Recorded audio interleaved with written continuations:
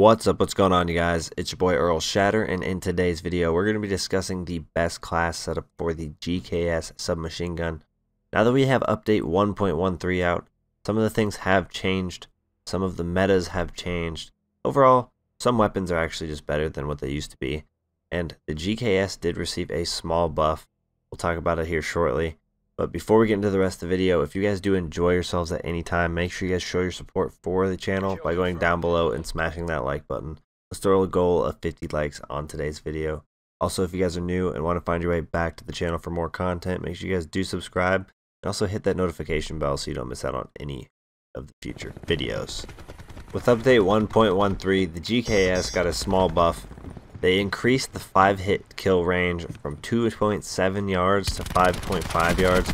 That is a significant change.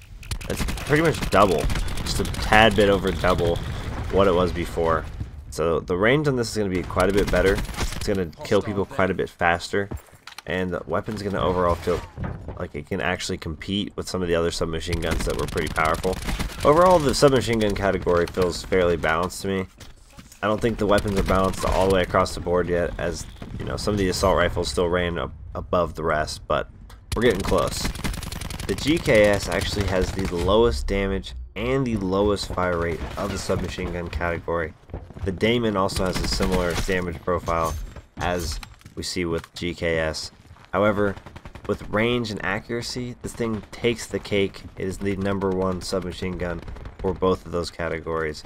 This weapon is extremely accurate. So for the best class setup with the GKS, we're going to be using the Damascus variant actually. The only reason I'm actually pointing this out is because they do now consider this the Mark II variant. Things have changed a little bit and it gives you a bonus of 25% XP when you use it. So on our GKS we are using the reflex sight. Of course it's going to help us be a lot more accurate being that the GKS has a ton of range.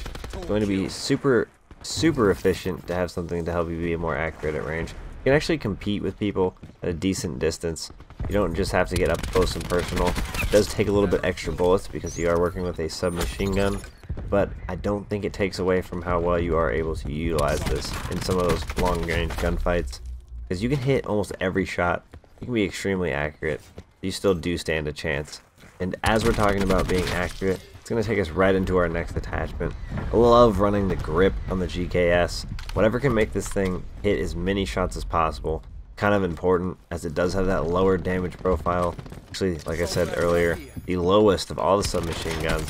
You're going to want to make sure each and every one of those shots hit. The grip is also going to be useful in those long range engagements, which we were discussing is possible with the GKS as it is so accurate. One major benefit of running the GKS is having the access to the suppressor. Obviously, if you run the suppressor, you're a little bit more stealthy. You're going to have the ability to flank your opponents, or you're even going to not show up on the minimap when you're firing, and that's kind of important as well. And it doesn't really affect the weapon a whole lot, as typically you're going to be shooting for close range engagements. It only affects range, it doesn't affect the damage, and honestly, the long range engagements that you're going to get in, if you're going to choose them wisely, you're going to be accurate, not going to really affect the difference a whole lot. And our last attachment that we're running on the GKS is going to be the extended mags. I find that this is absolutely crucial as this weapon does have that lower damage. So it's going to take a few extra bullets to take people out typically. And the more ammo you have in your clip, the better chance you're going to have of succeeding. Especially if you come across you know, multiple enemies in one engagement. It's going to be super efficient in those actually on every single one of my submachine gun classes that it has it available. I use some sort of way of alternating the magazine, whether it's fast mags, hybrid mags, extended mags. I find that those are absolutely crutch for these submachine guns, making them super efficient. They aren't the most, you know, useful guns in the game as it is. So the submachine gun category overall as a whole just doesn't compete as well as it should. So you're going to want these weapons to be the best that they can be. For my gear choice, I am running the ComSec device. This is going to allow me to get my streaks a bit faster, help my teammates maintain that map control, and hopefully come out with the win. For my perks, I am using Scavenger, Dexterity, and Dead Silence. These are perks that I use on almost all of my classes. With the exception of Dead Silence, I have a couple of classes I switch out for Ghost. But I pretty much run these, and they work for me and my playstyle.